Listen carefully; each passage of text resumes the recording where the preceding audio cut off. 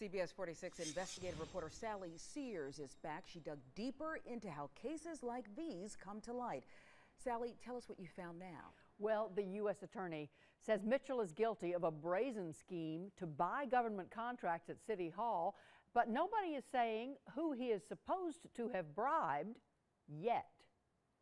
Well known Atlanta businessman E.R. Mitchell Jr. is charged with conspiracy to bribe and money launder a million dollars, all to influence contracts at City Hall. Vic Hartman spent 25 years as an FBI agent cracking public corruption cases, some of them in Atlanta. Now retired, Hartman has nothing to do with this case, but reveals how the FBI finds public officials who might be bribed. There's three categories of individuals that could receive a bribe.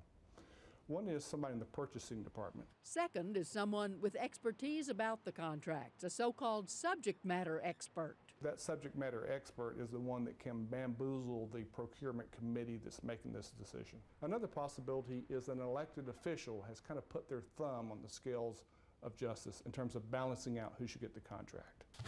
Former FBI agent Hartman predicts that other people, maybe several, are involved, and Mitchell may have helped catch them in an FBI sting. He's probably cooperated tremendously. He's probably worn wires. He's probably recontacted every bad person he knew in the government. Somebody feared Mitchell was talking. 16 months ago, they sent this message of intimidation right through his living room window a brick with Shut Up written on it in red crayon and three dead rats left behind.